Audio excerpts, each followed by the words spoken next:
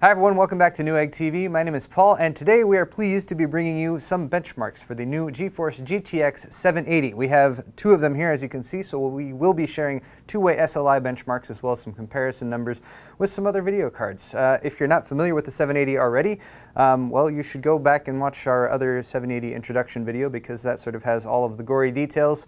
Uh, but some brief specs, it features the GK110 GPU which was previously only available in the Titan as far as uh, gaming video cards go. Uh, features GPU Boost 2.0, features this really awesome uh, metal housing and air cooler. Uh, also a uh, sort of hand-me-down from the GTX Titan. Uh, we also have some specialized versions, at least uh, this one from EVGA is currently available as well. So why don't we go ahead and take a closer look at some of the cards as well as the cards I will be, will be comparing this to. So here's our 780, uh, 10.5 inches long, blower style fan, polycarbonate window, metal housing, uh, really cool design, very fast card, stays very cool overall. Uh, again, you get features like GPU Boost 2.0, and of course you get the massive GK110 GPU right there. Again, if you want more details on that, check out our overview video. But what are we going to be comparing it to? Well, we couldn't go without comparing it to the Titan, so we got one of those right here, and you might notice some, um, some very very, very distinct similarities between them. Essentially, you have the same PCB layout. Uh, you have less memory. You have a few less SMX units, so a few less CUDA cores. Uh, but they're definitely very much siblings, uh, and a lot of the goodness of the Titan went straight into the 780. So we'll be sharing numbers from one of those. Um, while I'm on the topic of uh, this range of cards, here's a quick look at uh, EVGA's GTX 780. It features the ACX or Active Cooling Extreme Cooler that they've designed dual fan blower unit. So we will be expecting to see um, some custom designs uh, from some of the board partners that NVIDIA has. This happens to be one from EVGA, and uh, my boy Steve will be doing a full video on that as well. So if you guys want to take a closer look, you can. Uh, we will be, of course, comparing it to the last gen GTX 680. Here's EVGA's stock version of that, so threw that in there for some kind of baseline benchmarks. A quick look, look at that. If you're not familiar with this one, then you probably don't watch our channel very much, I guess, and that's okay. If you don't, you should subscribe. Uh, and then also, of course, we must be representing Team Red as well. So from AMD, we have the 7970 gigahertz edition. Sorry about that. They're already trying to fight.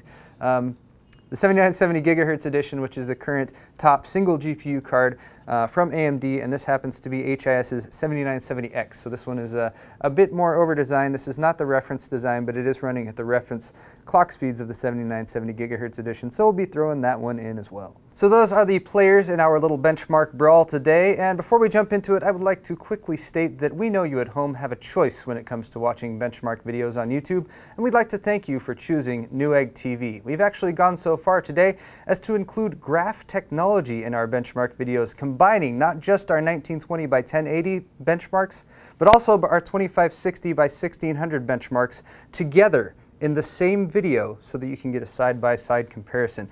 We hope you enjoy that. I also wanted to mention real quick as we jump into the spreadsheet looking at all of the detailed specs of all of these cards, we are currently running 13.5 beta drivers for our AMD card, and for the NVIDIA cards, we are running 320.18, which are the launch day drivers straight from NVIDIA.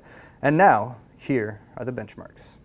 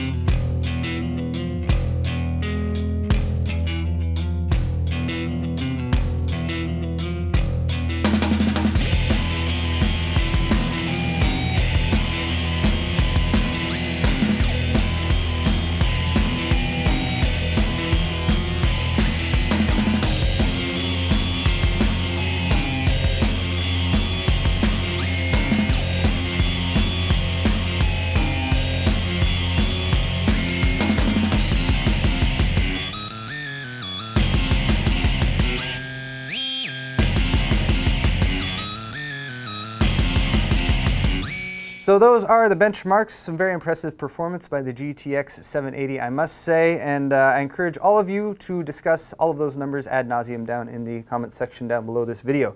I would also like to point out that this really brings the GK110 GPU down from the mountaintop, so to speak, from the GTX Titan to the 780. Still definitely a very super premium card, uh, but much more attainable for those of us who are into enthusiast grade computing.